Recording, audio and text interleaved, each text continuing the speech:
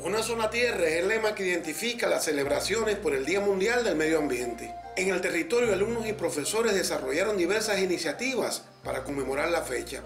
En tanto, un grupo de directivos del sector dedicaron la jornada al saneamiento de la playa y su entorno para dar nuestro aporte al Día del Medio Ambiente y también con el objetivo de aportar nuestro pequeño esfuerzo para iniciar el verano y que todos los veranistas vengan a nuestra playa y la encuentren linda y limpia.